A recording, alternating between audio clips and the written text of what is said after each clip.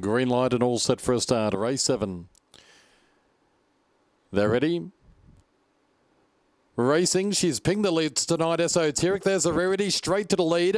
Coming across from out wide is Music Maestro. Overtime was able to find the fence. Then comes Irish Spice and Golden Devil. Speed Action gets a long way back with Cater Street and tailing out as long shots.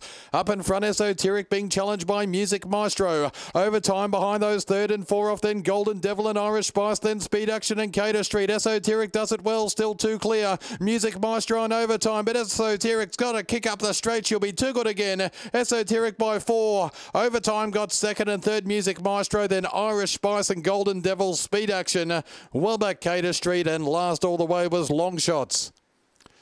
Well, she's racing in a purple patch, isn't she? Esoteric for Bill Boone, 380 and a dollar sixty. You haven't seen a leader field in a long, long time, and tonight she's been much too good.